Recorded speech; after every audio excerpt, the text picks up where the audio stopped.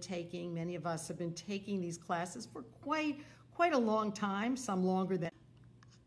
We really are trying to share what we have learned and what we've and what we have felt over time and the changes that we have been through, the positive changes we've been through. And so that's really what it's all about.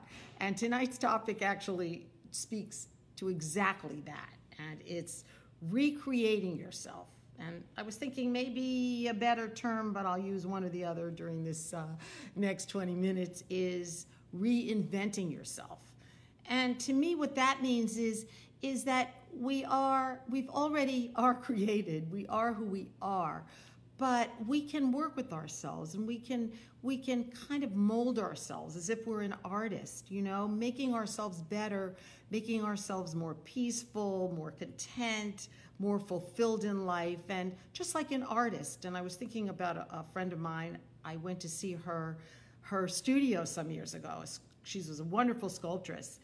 And it was she was working on one one piece which was like a horse. I remember it was a horse beautiful horse, but it took months for her to mold it and change it and work with it. And so that's kind of how I see us, you know, in terms of reinventing ourselves and recreating ourselves is that that we can we can become more of who we are, who we were meant to be.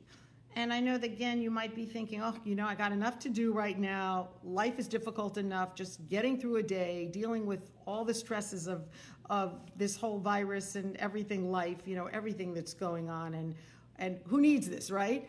Well, I just want to tell you, you do need it, or you could need it. I shouldn't, I have no right to tell you anything, of course, but because it'll be of help to you in your life.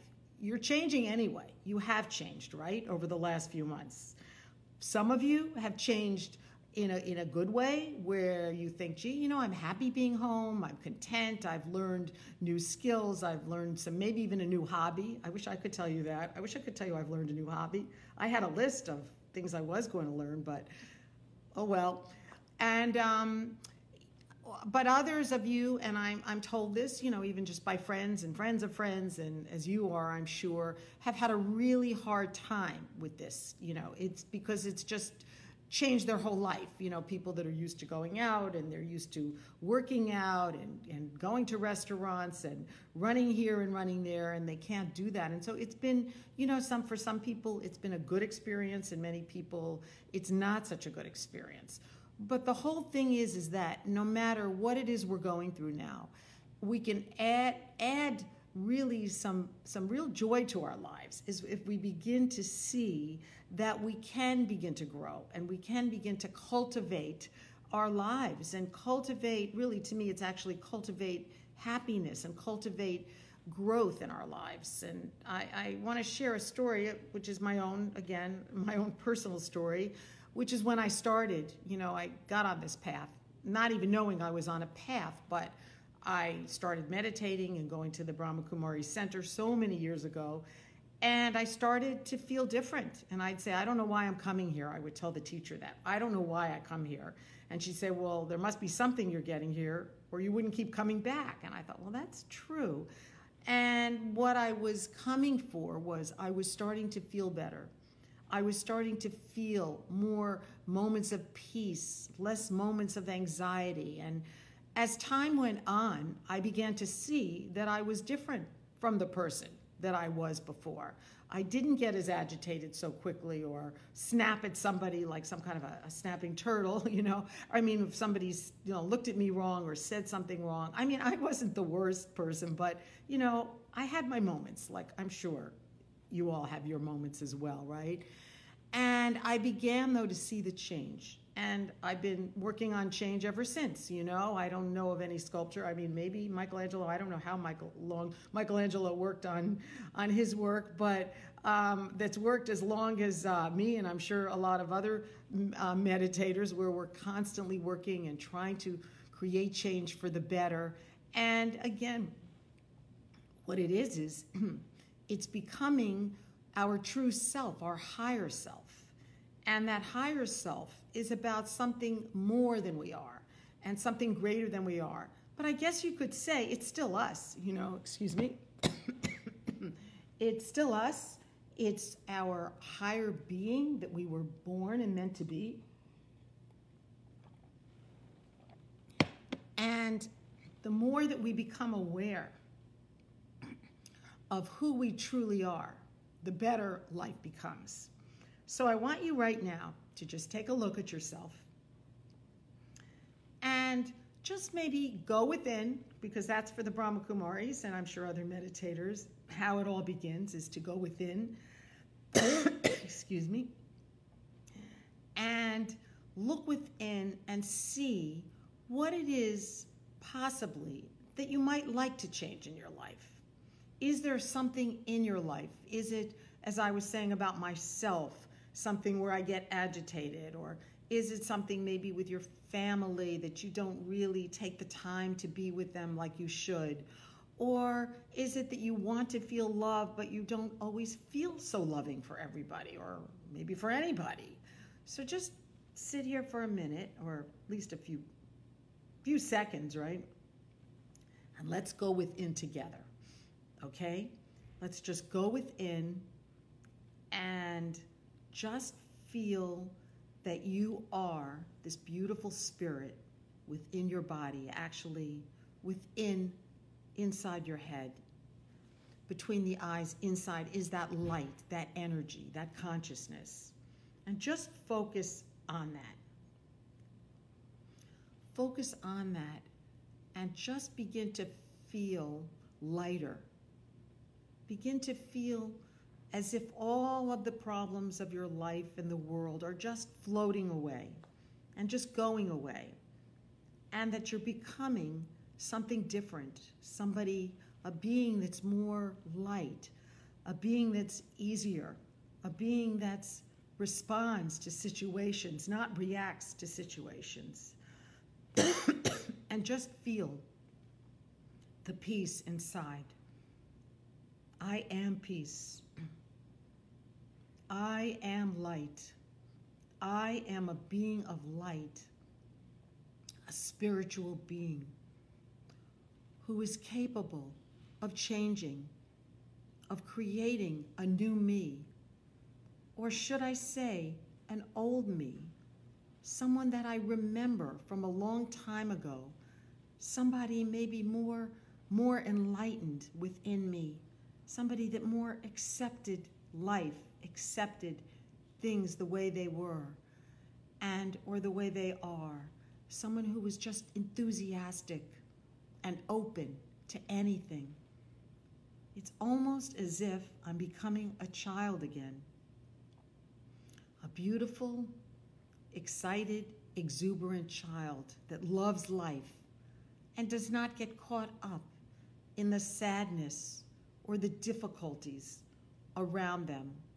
A child that just lives in the moment. Let me be that child.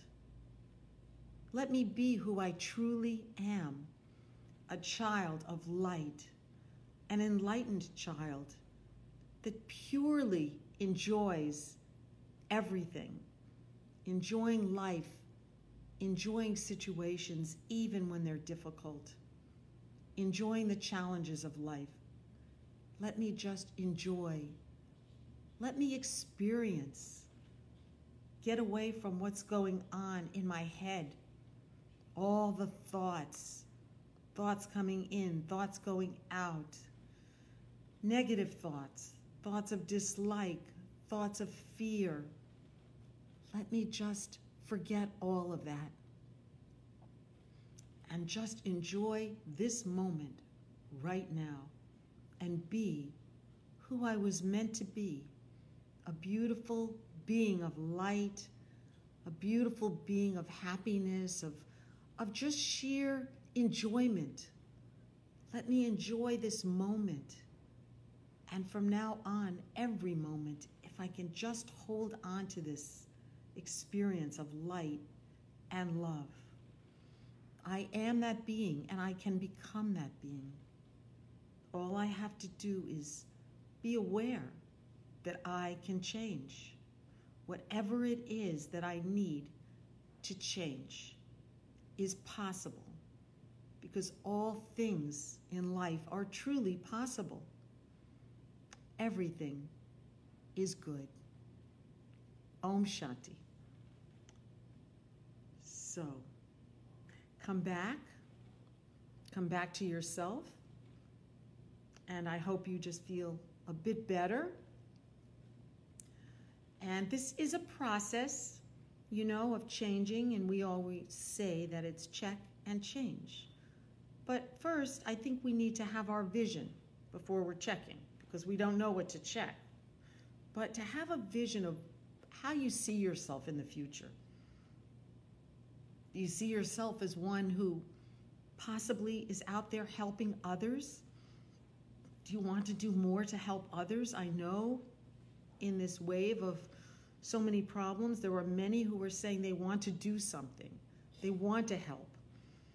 And, you know, often people say they don't have time or they don't know who to help. But if you have that thought that that would make you more fulfilled or happier in life, that even if you help one person, you are reinventing yourself. You're becoming a helper rather than saying, I don't have time.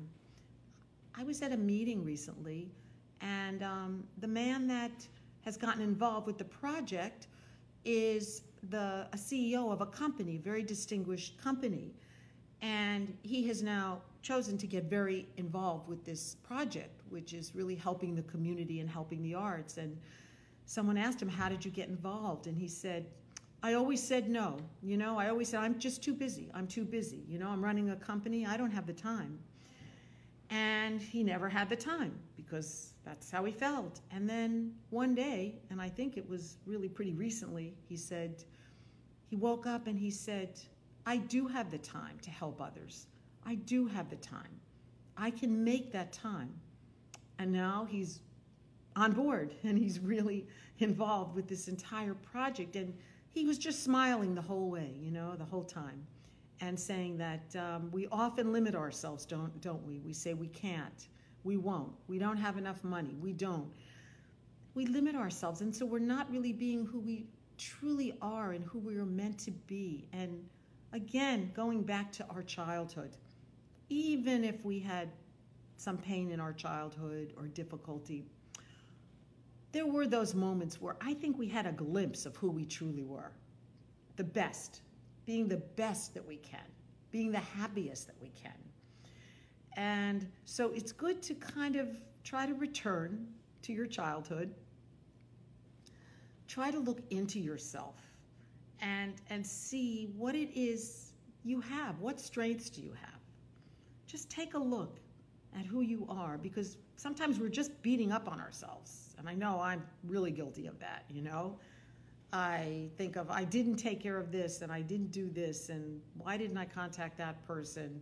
Maybe they weren't feeling well. And often i think it's like guilt you know wanting to do these things and not be getting the chance to. And Though, as I'm telling you about this uh, CEO, he finally realized he did have the time. So again, it begins with a, I think, a really determined thought that yes, I can do this. I do have the time. And you know what happens when you say you have the time?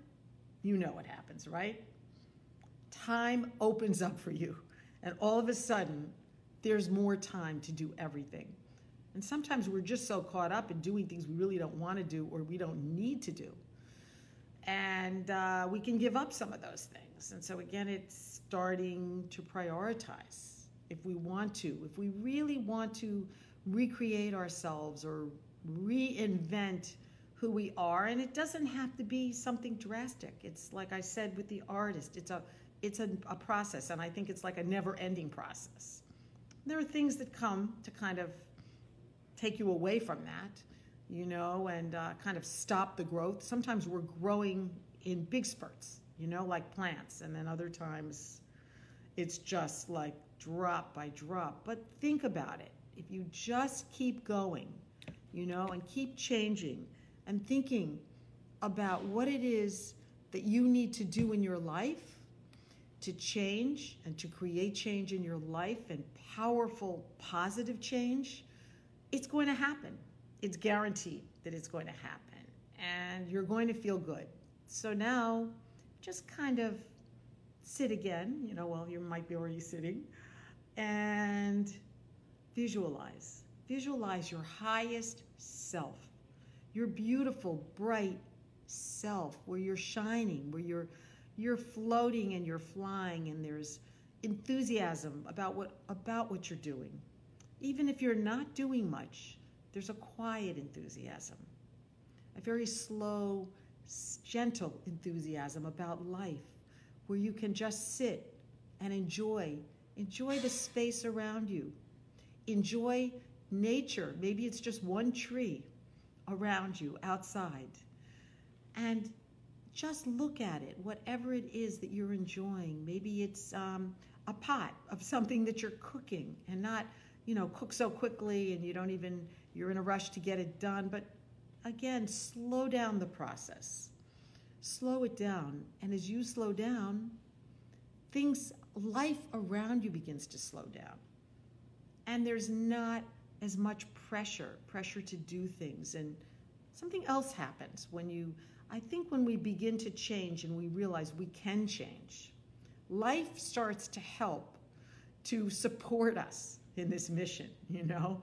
It really does. The drama, the, the, we call it in Raja Yoga meditation, the drama of life, the script that we were all born with. Um, we all have a script that we've come into this world with, and uh, even that goes to support us and to to make life easier for us. And did you ever uh, just feel kind of stressed, like you're trying to get something done and you don't even know where to start, but you just stop and you kind of uh, just again sit and get quiet, and then all of a sudden the idea comes.